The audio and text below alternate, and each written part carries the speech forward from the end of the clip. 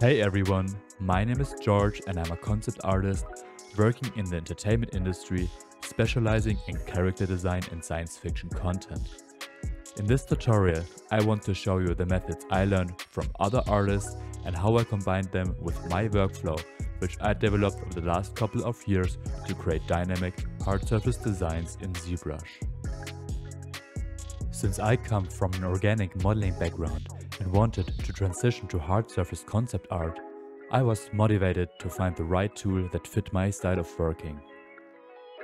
Lucky enough, I found out that ZBrush was perfectly fine to create hard surface elements and even offered many benefits on top of other software.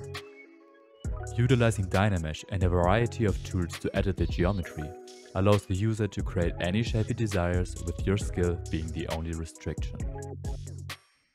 In the first part of this tutorial, I will explain every tool and workflow that I use in real time, including new features that got introduced under ZBrush 2022 while creating a sci-fi mask design. You will also be provided with my custom material and small macros that I created to speed up certain operations and make your life easier.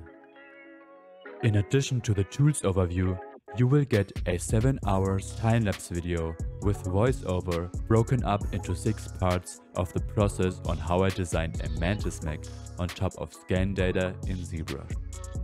Please note that this course is meant for someone with intermediate to advanced knowledge of the software. I will not explain basic functionality of ZBrush. I can't wait to see you guys in the tutorial. Until then guys, take care.